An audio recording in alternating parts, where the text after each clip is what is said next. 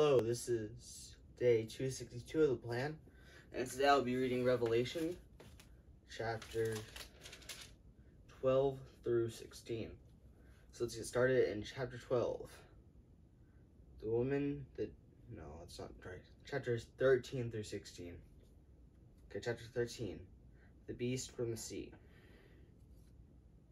The dragon stood on the sand of the sea and I saw a beast coming up out of the sea, and it had ten horns and seven heads. On its horns were ten crowns, and on its heads were blasphemous names. The beast I saw was like a leopard, his feet were like a bear, and its mouth was like a lion's mouth. The dragon gave the beast his power, and his throne, and great authority. One of its heads appeared to be fatally wounded, but his fatal wound was healed. The whole earth was amazed and followed the beast. They worshipped the dragon because he gave authority to the beast, and they worshipped the beast, saying, who is like the beast, who is able to wage war against it. The beast was given a mouth to utter boasts and blasphemies. It was allowed to exercise authority. For 42 months, it began to speak blasphemies against God, to blaspheme his name and his dwelling. Those who dwell in heaven and and it was permitted to wage war against the saints and to conquer them. It was also given authority over every tribe, people, language, nation. All those who live on the earth and will worship it. Everyone whose name was not written the foundation of the world in the book of life, the Lamb who was slaughtered. If anyone has ears to hear, let them listen. If anyone is to be taken captive into captivity, he goes. If anyone wants to be killed with a sword, with a sword he will be killed. This calls for endurance and faithfulness from the saints. The beast from the earth.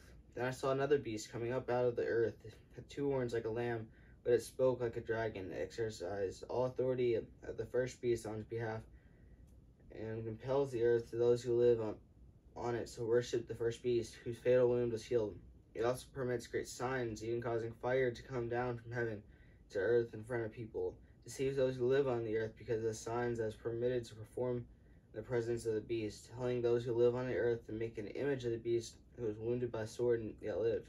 It was permitted to give breath in the image of the beast, so that the image of the beast could both speak and cause whoever would not worship the image of the beast to be killed and it makes everyone small and great, rich and poor, free and slave, to receive a mark on his right hand or his forehead, so that no one can buy or sell things unless he has a mark. The beast, unless he has a mark, the beast's name or the number of its name. This calls for wisdom. Let the one who has understanding calculate the number of the beast, because it is the number of a person. Its number is 666. Chapter 14. The Lamb and the 144,000. I looked, and there was the Lamb standing on Mount Zion, and with him were 144,000 who had his name on and his father's name written on his foreheads. I heard a sound from heaven like the sound of cascading waters, like the rumbling of loud thunder. Then the sound I heard was like harpists playing on their harps. They sing a new song before the throne, before the four living creatures and the elders. But no one could learn this song except the 144,000 who had been redeemed from the earth. These are the ones who had not defiled themselves with women since they remained virgins. These are the ones who follow the Lamb wherever he goes. They were redeemed from humanity as first fruits for God and the Lamb. No lie was found in their mouths, and they are all blameless. The proclamation of three angels. And I saw another angel flying high overhead with the eternal gospel to announce the inhabitants of the earth, to every nation, tribe, language, and people. He spoke with a loud voice, Fear God and give glory, because the hour of his judgment has come. Worship the one who has made heaven earth, the sea, and the springs of water.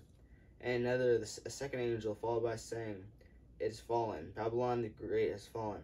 She made all the nations drink the wine of her sexual immorality, which brings wrath. Another, a third angel, followed them and spoke with a loud voice. If anyone worships the beast and his image, and receives a mark on his forehead or on his hand, he will also drink the wine of God's wrath, which is poured full strength in the cup of his anger. He will be tormented with fire and sulfur in the sight of the holy angels and the sight of the Lamb. The smoke of their torment will go up forever and ever. There is no rest day or night for those who worship beast in its image, or anyone who receives the mark of its name. This calls for endurance from the saints, keep God's commands in their faith in Jesus. Then I heard a voice from heaven saying, Right, blessed are the dead who die in the Lord from now on. Yes, says the Spirit, so they'll rest from their labor since their work follows them, since their works follow them. reaping the earth's harvest.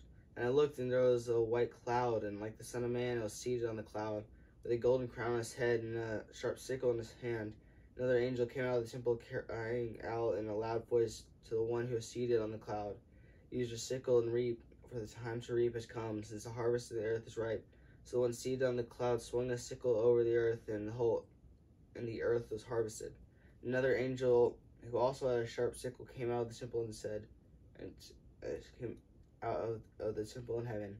Yet another angel who had authority over fire came from the altar, and he called out with a loud voice to the one who had the sharp sickle, Use your sharp sickle to gather clusters of grapes from the vineyard of the earth, because its grapes have ripened.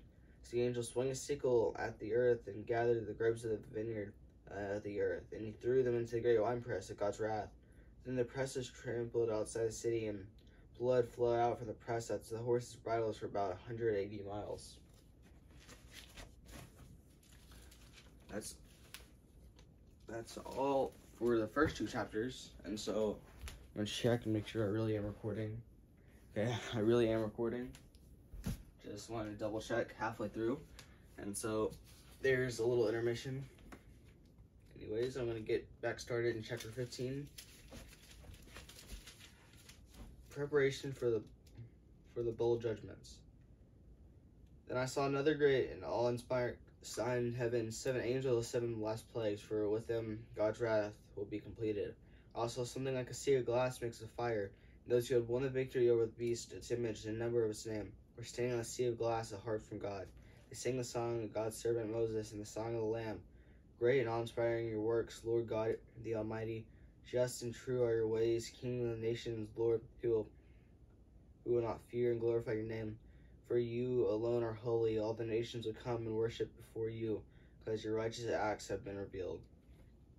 After this, I looked in the heavenly temple. The tabernacle of the testimony was open out of the temple came the seven angels with the seven plagues, dressed in pure, bright linen, with gold sashes wrapped around their chests. One of the four living creatures gave the seven angels seven golden bowls filled with the wrath of God who lives forever and ever. Then the temple was filled with smoke from the glory of God from his power. No one could enter the temple until the seven plagues of the seven angels are completed. Chapter 16 The first bowl. Then I heard a loud voice from the temple saying to the seven angels, Go and pour out the seven bowls of God's wrath on the earth. The first one to pour out his bowl on the earth, and, uh, and severely painful sores broke on the people who had the mark of the beast and who worshipped its image. The second bowl. The second poured out his bowl into the sea. It turned like to blood, that of a dead person, and all life in the sea died. The third bowl. The third poured out his bowl into the rivers and springs of water, and they became blood. I heard the angel of the water say, You are just, the Holy One who what who is and who was, because you have passed judgment on these things. But as they poured out the blood of the saints and the prophets, you have given them blood to drink. They deserve it. I heard the altar say, Yes, Lord God, the Almighty, true and just are your are your judges. The fourth bowl, the fourth bowl, the fourth poured out his bowl in the sun, and it was allowed to scorch people of fire and people are scorched with the intense heat, so they blaspheme the name of the God who has power over these plagues, and they did not repent and give him glory. The fifth bowl. The fifth bowl poured out his bowl on the throne of the, the beast, and the kingdom was plunged in darkness. People gnawed their tongues because of their pain, and blasphemed the God of heaven because of their pains and their sores, but they did not repent of their works. The sixth bowl. The sixth poured out his bowl on the great river Euphrates and its water was dried up to prepare for the way of the kings from the east. And I saw three unclean spirits like frogs coming from the dragon's mouth, from the beast's mouth, and from the mouth of the false prophets. For they are demonic spirits, performing signs who travel the kings of the whole world to assemble them for the battle of the great day of God, the Almighty. Look, I'm coming like a thief. Blessed is the one who is alert and remains clothed, so that he may not go around naked and will see his shame. So they assemble the kings at the place called in Hebrew Armageddon. The seventh bowl. the seventh bowl poured out his bowl into all, all into the air, and a loud voice came from the temple from the throne saying, It's done. There are flashes of lightning, rumbling, and peals a thunder and severe earthquake occurred like no other since people had been on the earth. So great was the earthquake that the great city split into three parts, and the cities of the nations fell. Babylon the Great was remembered in God's presence. He gave her the cup filled with the wine of fierce anger.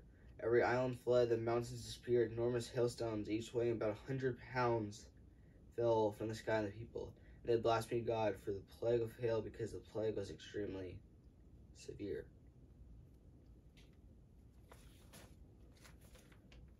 That's all for today, which means I have six chapters left before I'm finished. Anyways, hope you've had a great day so far. Have a great day. God loves you, and goodbye.